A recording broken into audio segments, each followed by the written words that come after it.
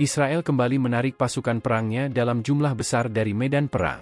Para tentara dari Brigade Cadangan ke-4 dan ke-55 itu berbondong-bondong meninggalkan Han Yunis pada Minggu 28 Januari. Saat meninggalkan medan perang, para tentara tersebut jalan kaki sembari mengibarkan bendera. Video detik-detik tentara meninggalkan Han Yunis itu beredar di media sosial pada Senin, 29 Januari 2024. Dalam video tampak iring-iringan panjang tentara Zionis itu jalan kaki.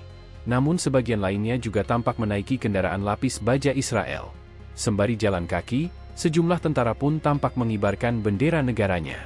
Dilansir dari West Observer, radio tentara Israel telah mengumumkan penarikan Brigade Cadangan ke-4 dan ke-55 pada Minggu, 28 Januari 2024. Israel mengklaim bahwa penarikan tersebut dilakukan seusai para tentara itu menyelesaikan tugasnya.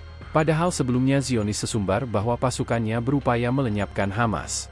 Namun nyatanya hingga penarikan pasukan perangnya ini Hamas masih berkuasa di wilayah tersebut.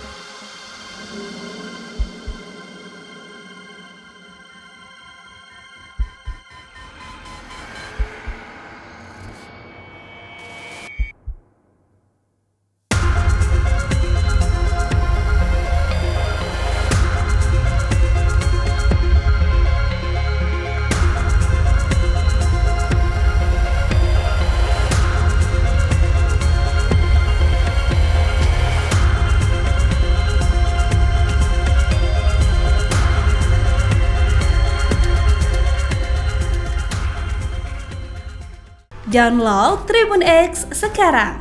Menghadirkan lokal menjadi Indonesia.